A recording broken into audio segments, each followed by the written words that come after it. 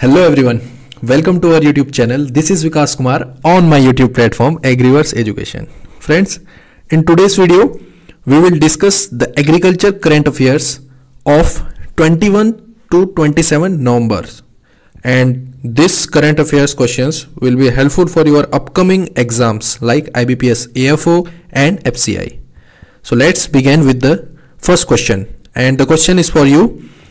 World Fisheries Day is celebrated annually on which day आपको बताना है कि वर्ल्ड फिशरीज डे कौन से दिन सेलिब्रेट किया जाता है? Option are fourteen November twenty November 21 और 24 नवंबर इसका आंसर आप दे सकते हैं हमारे कमेंट बॉक्स में और शुरू करते हैं आज के पहले क्वेश्चन से.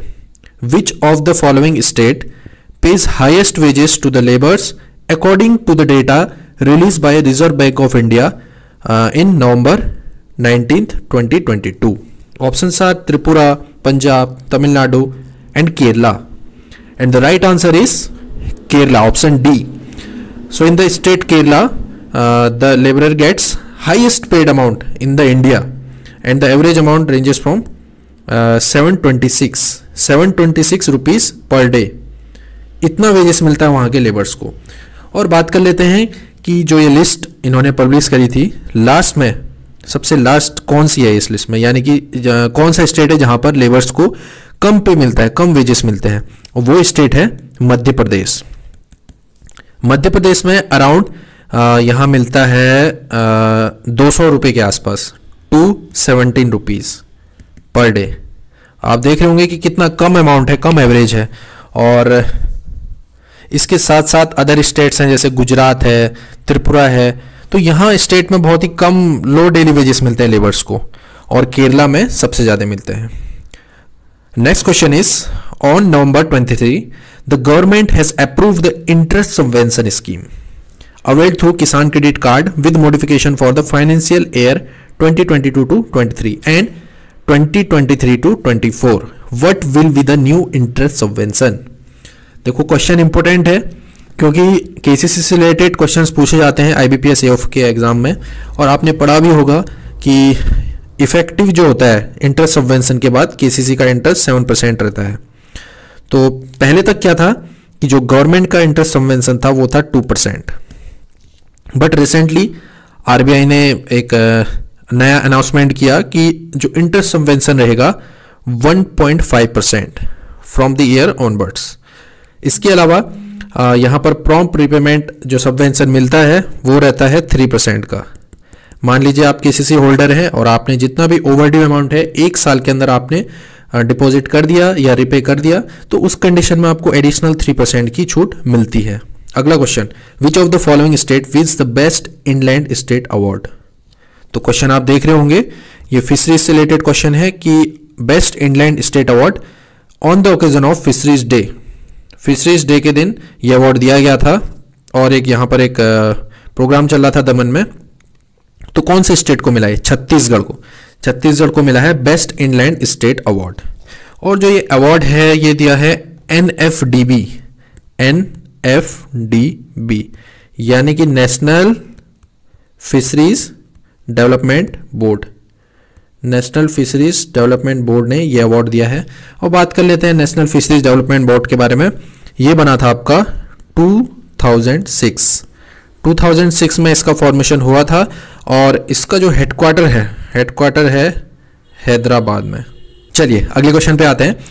What is the cash prize for the winner of Rashtriya Gopal Ratna award ये रिसेंटली गोपाल रत्न अवार्ड दिया गया है और अनाउंसमेंट करी गई है इसकी। तो आपको बताना है कि इसमें जो फ़र्स्ट कैश प्राइज रहेगा, जो फ़र्स्ट विनर रहेगा, उसको कितना प्राइज मिलेगा? Right answer is five lakh five lakh rupees जो फ़र्स्ट रहेगा इसमें, उसको मिलेगा। देन सेकंड प्राइज होल्डर को मिलेगा थ्री लाख एंड थर्ड वाले को मिलेगा टू लाख अगला question according to the latest data there is how much increase in overall oil mill export during current fiscal year on year और एयर बेसिस तो आपको बताना है कि एयर ऑन एयर बेसिस पे जो एयर मिल का एक्सपोर्ट हुआ है, उस पर इजाफा देखने को मिला इस साल। तो कितना परसेंट इंक्रीमेंट देखा गया है? राइट आंसर इज़ 38 परसेंट और ये किसकी वजह से हुआ? जो हमारा रेपसीट मिल है। रेपसीट मिल इसमें अराउंड 100 परसेंट का इंक्रीमेंट देखने को मिला। और ओवरऑल जो सारे ऑयल मिल की बात कर लें तो उसमें 38 परसेंट का मिला है। बात कर लेते हैं कि कौन कौन सी कंट्रीज़ है जिन्होंने ज़्यादा इंपोर्ट किया है ऑयल मिल्स का फ्रॉम इंडिया तो फ़र्स्ट पे है आपकी Thailand during this fiscal year Thailand followed by Vietnam followed by South Korea तो ये तीन कंट्री हैं जिन्होंने ऑयल मिल का इंपोर्ट किया फ्रॉम द इंडिया चलिए लास्ट क्वेश्चन पे आते हैं. The department of animal husbandry and dairying is celebrating National Milk Day जिसको सेलिब्रेट किया जाता है twenty of November to commemorate one zero oneth birth anniversary of father of the white revolution in India जो कौन थे? Doctor Verghese Kurien also known as the milkman of the India और यहाँ पर क्वेश्चन ये है कि जो ये व्हाइट रेवोल्यूशन की हम बात कर रहे हैं, जिसको ऑपरेशन फ्लड भी कहा जाता है। ऑपरेशन फ्लड ये कौन से ईयर में स्टार्ट हुआ था?